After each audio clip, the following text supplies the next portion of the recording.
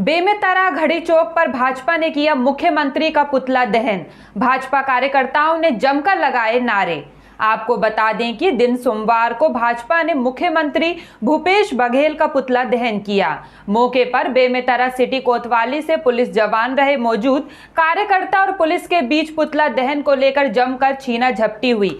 भाजयुमो जिला अध्यक्ष परमेश्वर वर्मा ने बताया कि खेरागढ़ के छुई खदान में नो खदान में नवरात्रि पर्व में लोग अपने घर व बाहर गली में भगवा ध्वज लगाए हैं जिससे हिंदू विरोधी कांग्रेस के भूपेश बघेल निकलवाने का काम कर रहे हैं। आज एक दिवसीय प्रदेश मोर्चा के आदेश अनुसार सभी देश अनुसार सभी जिलों में मुख्यमंत्री भूपेश बघेल का पुतला दहन किया जा रहा है। पुतला दहन में राजेंद्र शर्मा, विकास धर, दीवान योगेश वर्मा भाजयुमो जिला महामंत्री निशा चौबे मोन्टू साहू, निखिल साहू सहित अन्य भाजपा कार्यकर्ता मौजूद रहे। और क्या कारण से किया गया है? कल छुई खदान खैरागढ़ विधानसभा के अंतर्गत आता है, जिसमें कांग्रेस सरकार भूपेश बघेल की एक छोटी मानसिकता है, जो हमारे अभी नवरात्रि का पक्ष चल रहा है, जिसमें भक्त, भगवा झंडा सभी जगह, सभी घर घर में लगाए हैं उसको कांग्रेसी मानसिकता, भूपेश बघेल, हिंदू विरोधी, जो निकलवाने का काम कर रही है, उसके